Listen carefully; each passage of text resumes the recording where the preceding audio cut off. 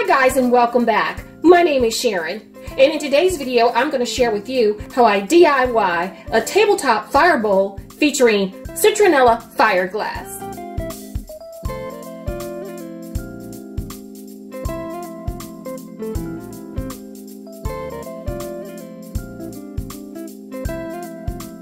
Now that the weather has gotten warmer, we're spending a lot more time outdoors. We're enjoying our deck all hours of the day. But towards the evening time, as the sun starts to set and those little critters starts to come out, this tabletop fire bowl with citronella fire glass is the perfect addition to your patio and deck decor. It's beautiful to look at because of the glow of the fire, and it's functional because of the citronella fire glass. If you haven't already, make sure you hit that subscribe button along with the notification bell. Hit it twice so that you don't miss out on any of my future videos. Leave me a comment. Would you use a tabletop fire bowl in your backyard? I also appreciate it if you gave me a thumbs up. This is a terracotta pot that I got from Hobby Lobby and I paid $9.99 for it. And then I spray painted it gray, uh, a, a matte gray, almost like a primer gray because I wanted that stone look and I love the way it turned out. Okay, now the first thing I'm going to do is take this Traeger bucket liner. It's used for your barbecue grills, but I thought this will be a perfect place for me to use it in the fire bowl because it will lend itself to, well, let me take the paper off. But it's oh, it acts as like a little cage for the actual fire bowl. So when the canister, when my uh, when my canister runs out, all I have to do is take it out of here to replace it. Put a new one in, take the old one out. To keep the rocks from falling into the bucket, I'm going to cover it with a little chicken wire. So I got this chicken wire at Michael's. And I believe it was $2.99 for this roll.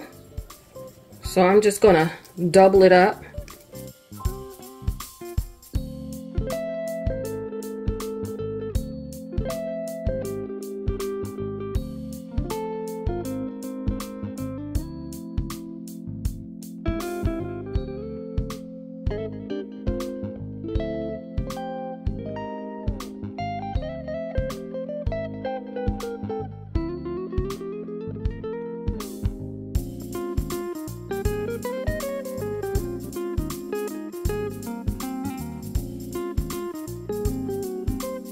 Connect on social media, on Instagram and Pinterest at Creative Glam 1.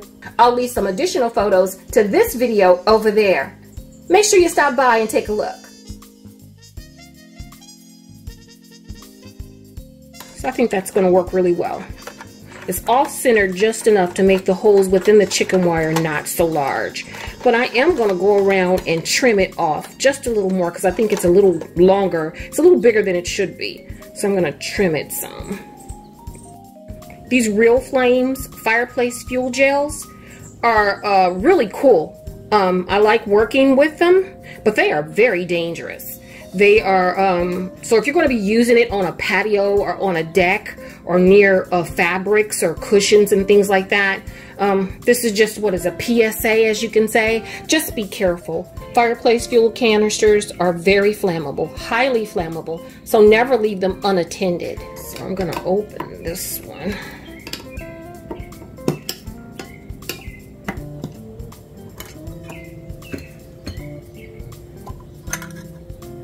That's what they look like inside. They look like jello. Now I'm going to sit the top back on there temporarily. And then I'm going to cover this. I got these white rocks from Michael's. Um, I believe they were $7.99 a canister. I went with the ones from Michael's as opposed to the ones from Dollar Tree because the ones at Dollar Tree are a smaller stone. I like them, but I thought that they may fall through the chicken wire and I didn't want that.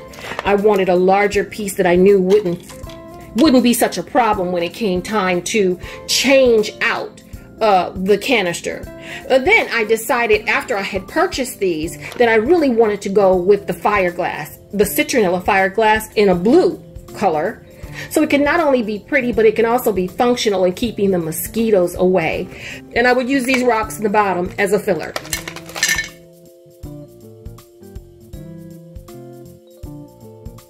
And then I don't have to use so much of a fire glass. Now you can purchase these online or at Costco's or places like that. I think even Amazon. Or you can do like I did and DIY your own.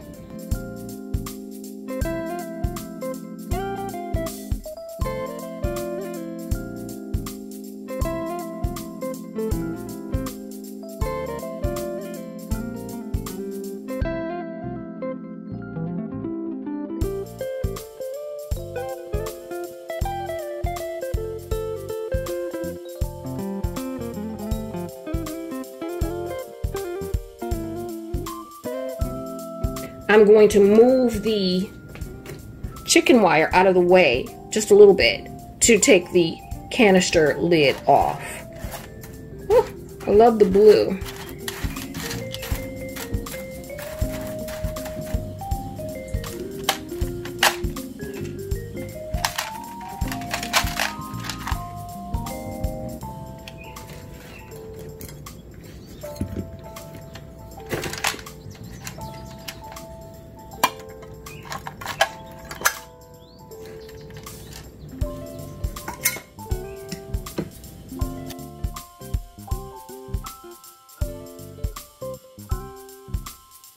I'll put the chicken wire back over the top and then I can add the rest of the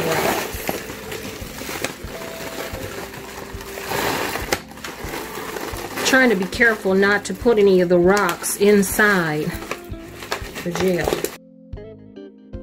I couldn't decide whether to go with the river rock or whether to go with the fire glass. I'm glad I went with the fire glass. But don't get me wrong because the river rocks are just as pretty. I love the way this fire bowl turned out. I think it's absolutely beautiful. And that Citronella fire glass lends a sparkle that you just can't beat. I hope you enjoyed this video and how I DIYed my tabletop fire bowl with Citronella fire glass. If you did, leave me a comment. I'd love to hear from you. And if you haven't already, make sure you hit that subscribe button along with the notification bell. Hit it twice so that you don't miss out on any of my future videos. I'd also appreciate it if you gave me a thumbs up. And with that being said, have a blessed day, and I'll see you right back here next time on Creative Glam. Bye.